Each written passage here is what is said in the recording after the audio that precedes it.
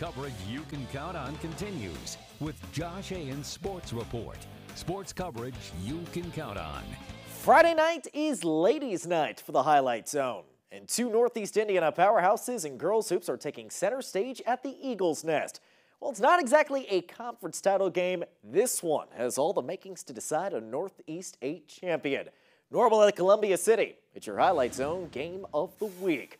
Columbia City is coming in as the number one team of the state according to the most recent coaches poll.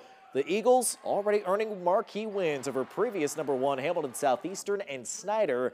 As for Norwell, the Knights with a pretty impressive 8-2 record. Those losses coming against Northridge and Homestead.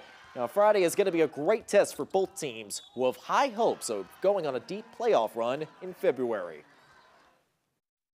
This is really important to us and it just, it's obviously a test. They play some of the teams that we'll see in sectional and it'll just kind of help us see where we're at.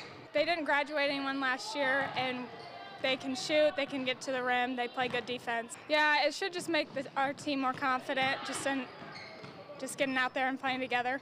I think just being confident, knowing that we can come out there and play our best and just uplifting everybody. Even if you're having like a bad game in the first quarter, just keeping there for everyone. Us pushing the ball, they really push the, the ball well too.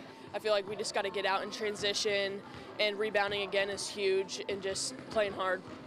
We're going to be live at Columbia City at 6 with head coach Amy Shearer. Then tune in at 11 for the Highlight Zone, Fort Wayne's number one and most watched sports show.